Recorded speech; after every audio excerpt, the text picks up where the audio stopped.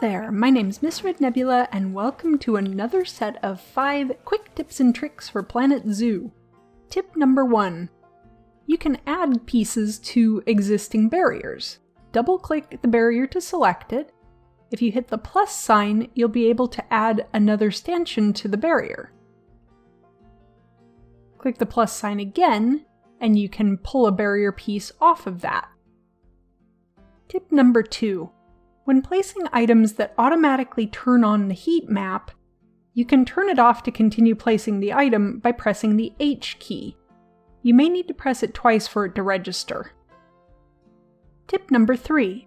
If you've got security cameras in your park, you can go into the security camera's view. Click on the camera and say Enter Camera View. This lets you look around to see what the security camera can see. Not real sure what the point of this is, but it's kind of fun. Tip number 4. You can put windows in existing barriers instead of using the glass. Double click on a section of barrier and select however many pieces of the barrier you'd like to have a window in them, and come down here to the bottom right where it says Window.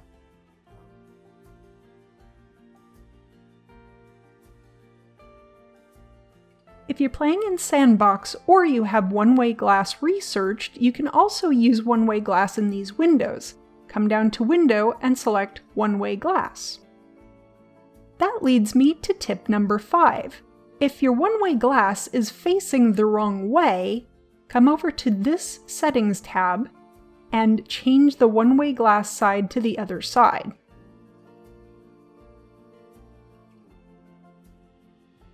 This works exactly the same way for standard one-way glass panels.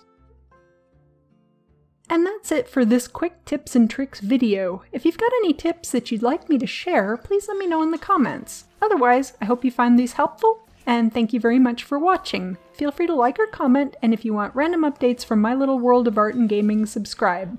If you enjoy what I do and are interested in supporting the channel, check out my Patreon. A big thank you to my current patrons. That's all for now. Bye!